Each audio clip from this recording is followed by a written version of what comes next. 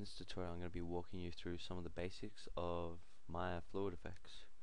So I'll just start off by disabling my grid, going to the fluids tab, and in this tutorial I'm going to walk you through the basics of um, 2D fluids and the emitter properties. So basically you go to fluids and click on that one there which will create a 2D fluid container with an emitter or you can go to fluid effects create 2D container then add your emitter through here. Just gonna add the default one now and go to my front view. Okay so we have two things here on the screen. This little dot in the center and this large square here. This dot um, this dot in the center here is the emitter. So this is what's going to be producing the fluids and pretty much just determines where they start and some basic properties of the emitter. This here is the container, so basically everything that's emitted cannot leave this container. This is the space that holds holds everything there. So first off I'm just going to walk you through some of the basic fluid attributes. Once if you can if you select your fluid emitter and you go to side panel here you'll see fluid attributes. Um, at the moment we've got density, heat, fuel, fluid drop off, emit fluid color, fluid color, and jitter. So I'm just going to walk you through and tell you what each one does. Basically the density defines how much fluid's actually going to get pumped out every second. The heat pumps out the temperature of the fluids you'll be emitting this is useful for making flame effects, but we'll go into that later. Fuel, um, pretty much just pumps out fuel. If you mix heat with fuel, you can create fire, which I'll also be going into later. And then we have emit fluid color.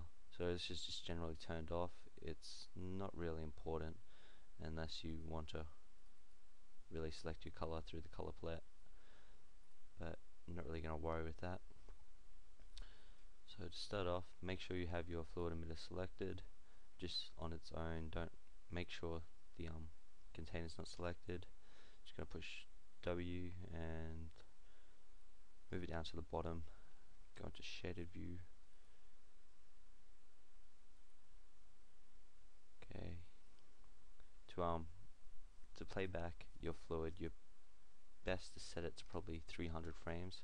That's what I generally like to use. It gives me a good view of how my fluid's going to pan out. And as you can see it plays back here. And that's pretty much just the first basic fluid you start off with. As you can see this is pretty slow. It does take its time and it doesn't really give you a real approximation of how fluid it's going to be what it's going to look like. So first off I'm going to run you through just being able to play this back at the appropriate frame rate which I think is about 25 frames per second. So to do this we go to window play blast play blast and click that. Oops sorry. Windows play blast click this little um this little icon next to it to bring up the settings for the play blast um, at the moment we want the time range to just be time slider, so that's going to go from 0 to 300, or you can define that yourself through start to end. I'm just going to keep that as it is. And the viewer, I'd recommend just using the image viewer, which is Maya's default. So after we do that, just click Play Blast, and as you'll see, it's pretty much baking it as it goes along the timeline. It's still slow, but this is just to um, get all the pictures saved and prepared for the um, actual playback.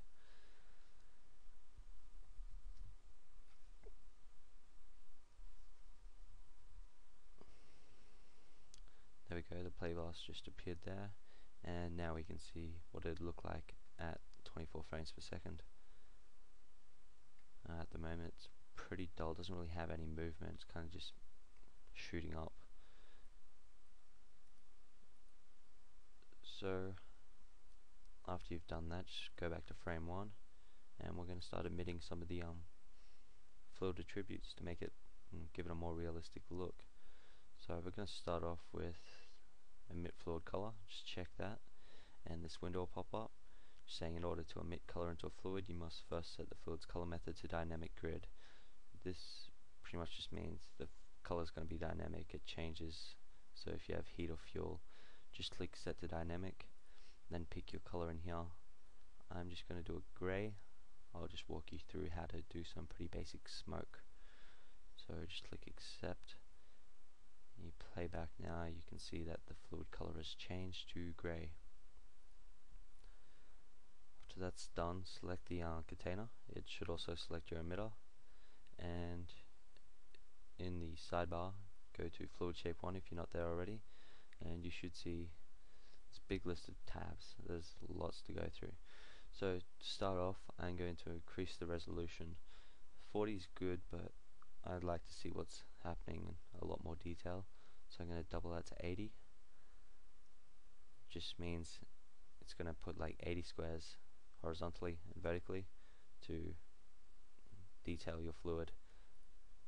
And the size so just 10 10 it's just a 10 by 10 10 centimeters 10 centimeters I don't, I don't know the, whatever method you have set up for measurements in this program okay so after you've played around with that you've got something you like something that's optimal for your computer go down to contents method and we have density velocity temperature fuel and color. I'm going to keep density on dynamic just so, you know, just to keep flow. Same with velocity. Temperature and fuel we're going to keep off because we're not going to be playing around with any ignition in this tutorial. So that's all we really need to do. Just minimize contents.